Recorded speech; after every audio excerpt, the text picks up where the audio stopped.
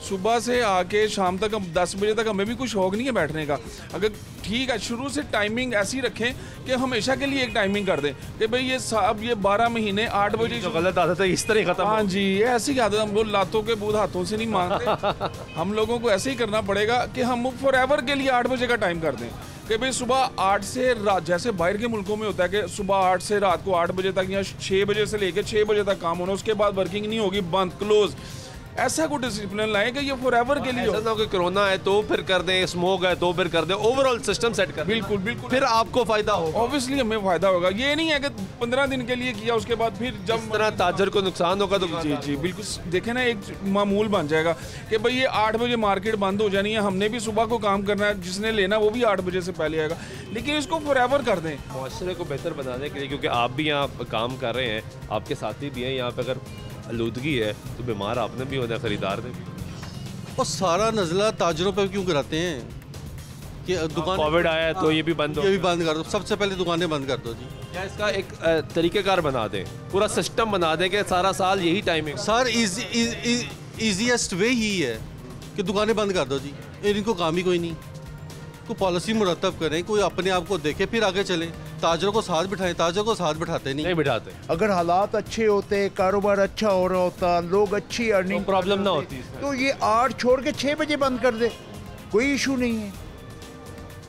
अवाम के लिए को पहले क्या देखा है इन्होंने? बजाय फैसिलिटेट करने के आप हुक्म सादर कर देते हो अपने वाहन में बैठ के अपने कुर्सी पे बैठ के ये क्या है? ये तो ताजरों के साथ मज़ाक नहीं खिलवाड़ है। और ताजर को एक ज़माने में क्या कहा जाता था जी ये रीढ़ की हड्डी हैं हुकूमत की। कहाँ से रीढ़ की हड्डी? रीढ़ की हड्डी टूट गई। लेकिन ताजरों की भी समझ नहीं आती। हुकूमत जाती है इस हॉल रोड पर आए तो इतने बड़े बड़े बैनर अवेजा हो जाते हैं सबके लिए। मेरे वो हुकूमत जाती है दूसरी आती है इतने बड़े बड़े बैनर अवेजा हो जाते हैं। मैं जब ताजरों से अर्ज़ सुन लें जब ताजरों से फैसला साजी की बात आती है तो ताजरों को कोई बुलाता ही नहीं है। मैं ताजर बैनर लगाने तक और इन्वेस्टमेंट करने तक ठीक है। तब प- पसंद है सबको। सारी सियासी जमातों की बात कर रहा हूँ मैं। लेकिन जब फैसला ये करना है तो तब तो आप लोगों को बुलाया नहीं जाता। नहीं, ये देखे ना, बात ये है कि मुशावरत कोई नहीं है। नहीं है ना? नहीं कोई मुशावरत कोई कंसल्टेंसी नहीं है। स्मोक का पता है आपको? जी जी स्मोक का पता स्कूल है बंद हो गए। हाँ जी स्कूल बंद बच्चे बीमार हो रहे हैं। आप तो नहीं हुए बीमार? नहीं बच्चे बाहर नहीं निकलेंगे तो कहाँ से बीमार होंगे? स्कूल में छुट्टियाँ कारोबार का क्या तल्लक है स्कूल से?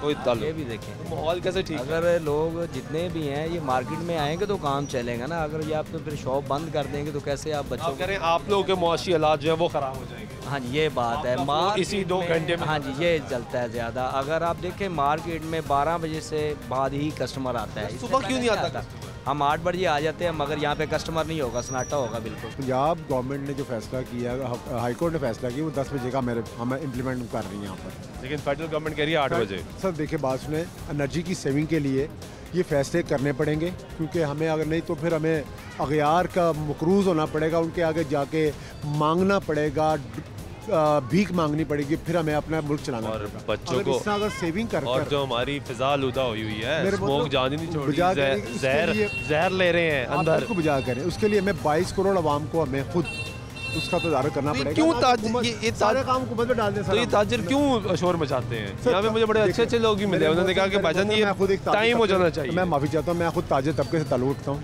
मैं कारोबारी आदमी। बात यह कि हर मसले का आलम क्यों जाकर हुकूमत वक्त पर जा देते हैं? अपने रवैये में तो तब्दील अपने रवैये भी तो तब्दील करें अपने आप अपने भी इसलाह करें।